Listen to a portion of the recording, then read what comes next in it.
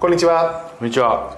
赤沼慎太郎です。今回も青木白英さんと一緒に対談をお送りします。青木さんどうぞ。よろしくお願いします。よろしくお願いします。今回はねはい。白英に復習問題を出します。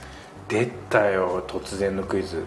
しかも復習問題ってことは以前にやったそういうことですね。内容ってことですか、まあ、今日はちょっとねこのテーマねいつもね言いますけどあの言っちゃうとね今からの問題なんとなく分かっちゃうかもしれないので、まあ、タイトルはこう編集で差し込んでおきますんで今スーッと出てますから。はい。ざっくりとはね不動産担保に関する問題をなるほど。思います。不動産担保ね。そう。了解っす。まあ経験あるでしょ？不動産担保ではい。融資っていうのはね。はい、じゃあいきますよ。はい。どうぞ。はいじゃああの例としましてね、うん。ハクウェイ株式会社。ハクウェイ。はい。このハクウェイ 89ウェイ株式会社ね。ハクウェイ株式会社がはい。5年前に創業して現在に至ります、うん。その間ねこんな感じで X 銀行さんとの、まあ、取引で X 銀行から融資をねこうやって受けてましたと、まあ、5年前に創業してその時に無担保で借りられる創業融資制度を使ってえー600万円借りましたとはい。で今現在は160万円残っていますよという状況ね、でその後3年前にですねえー今度は無担保で借りられる東京都の制度融資を使って1000万円借りましたと。で現在はえー400万円返済して600万円残ってますと。いうん。でその後順調にね業績を拡大させていってついに去年1年前にですねプロパー融資おお2500万円実行してくれました、X 銀行500万。はい、ただし無担保じゃちょっと厳しいと、なので自宅を担保に融資を受けましたよと。でこの時には、えー極度額3000万円の値定当権を設定しましたと、まあ、こういうハクウェイ株式会社と、ハクウェイねえー X 銀行さんとの取引の、まあ、歴史履履歴ですと。いうところなんですけども、なるほど、なん。だ順調に来てる感じがまあ、そうですね。順調に来てもうプロパーもやってくれてるということで、うん。はいまあ有担保ですけどね、まあ、でもプロパはい。ーちゃんと借りられて、まああの何かね設備投資か何かしたのかなって感じですね、2500万も借りていますからね。しましたね。ただね、ただ、うん。はい、ただただ。はい。ちょっとあのハケ社長ね。担保提供したその自宅をですねちょっと売りたいという事情が発生しました。別にこれネガティブな話じゃなくて例えばどこかへ引っ越す予定引っ越しすることになったよだとか、まあ、狭くなったからちょっと広い家にね引っ越すとかまあいろいろと理由があると思いますけども、まあ、とにかく自宅を売りたいわけですよ。うん。売りたいと、なるほど。でもあれだよね、担保提供しちゃってるから、そこを解決しないとそうですよね。さすが。ある程度分かってますねはい。はい。じゃあそこで問題です。あこっから問題そうかここから問題です。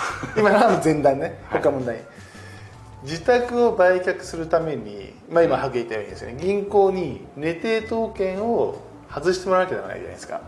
うんそうですね。この時ハクウェイ株式会社ははい。いくら返したら X 銀行は値定当権を抹消してくれるでしょうか？というのが問題ですね、うーんと、まあ、今の残こういうイメージね、はい、赤緑青っていうのがありますけど、まあ、赤が去年の借りで,、はいはい。で緑が3年前。なるほど。黄色があ青が5年前ということですけども。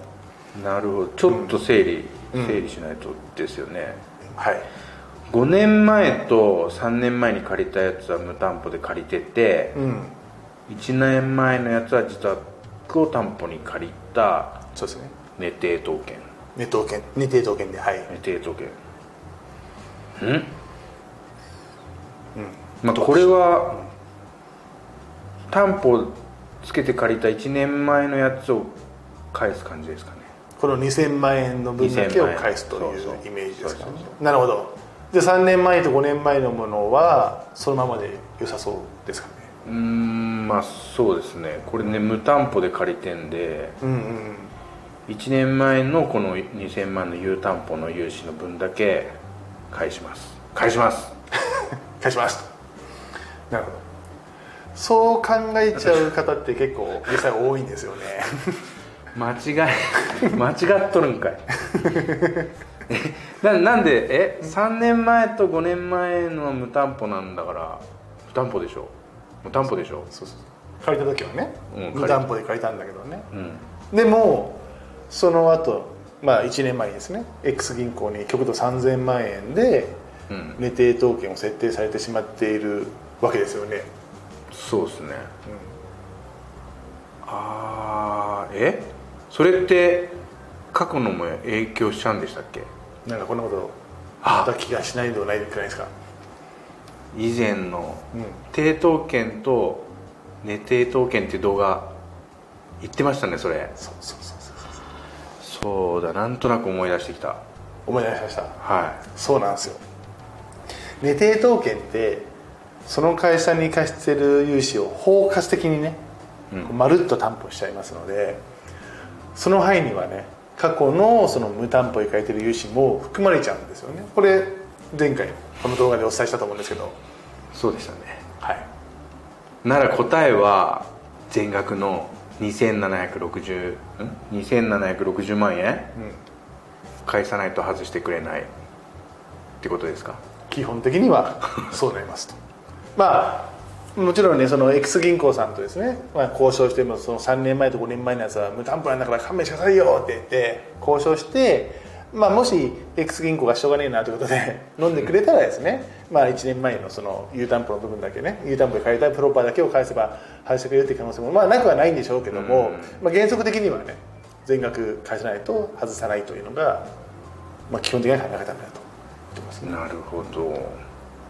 なんか無担保で借りたのに、うん。知らないうちに有担保になっちゃったみたいでね、うんなんか納得いかない感じ 出ちゃいますよね。そうそうね。多分そう感じる方って多分すごく多いと思うんですけども、まあ基本的にやっぱ銀行員もですねこういうことする時ねその値定当権設定する時って、まあ、こういうリスクがあるってことは、まあ、説明してるはずなんですけどうん。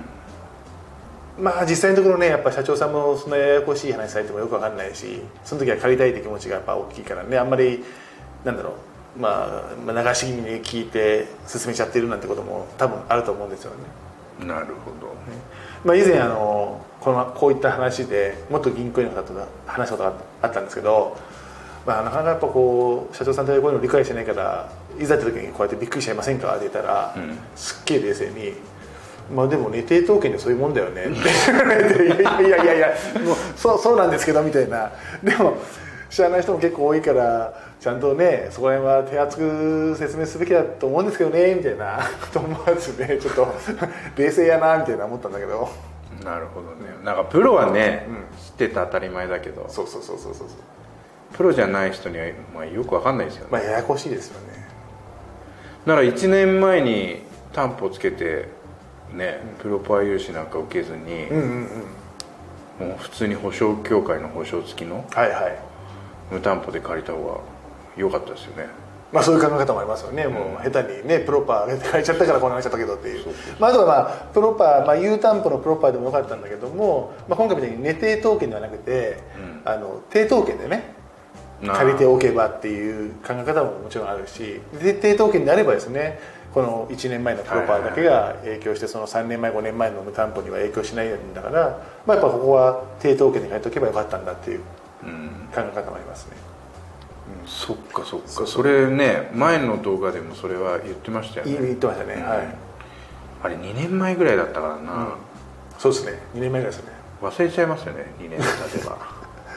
もう一度見直してみます。見てください。マジで。あの 本当にこれ大事なことなんで、はい。ぜひね見直してもらいたいなと思いますし、まあ、やっぱ銀行ってどうしてもこう抵当権つけるつけるときになんか半自動的に値抵当権をって進めてくる傾向にあるんでうんそこ分からずにね今みたいなことになっちゃうんでそこはいやもう、ね、抵当権で OK ですと。値はいらないですっていう形でしっかりとあの理解した上であの交渉するっていうことが大事かなというふうに思います。まあ反復的に借りる予定があれば値定当権ももちろんいいんですけど、まあ、スポットでねポンって借りるぐらいだったらもう値定当権になる必要ないんで、うん。抵当権でと。はい。はい。まあ、これ本当知らずにですねこんなはずじゃなかったってなっちゃうケースって本当ありますのでぜひねそこはご注意くださいということで、えー今回はですねこの、ね、抵当権の罠ということで あの、まあ、気づいたら無担保融資が有担保融資になってたみたいな形になっちゃわないようにということでちょっとねえー注意喚起のために、えー動画を撮りました。ぜひねご参考にしてください、えー青木さん今回もありがとうございました。ありありがとうございました。あがとうございました。りがとうございました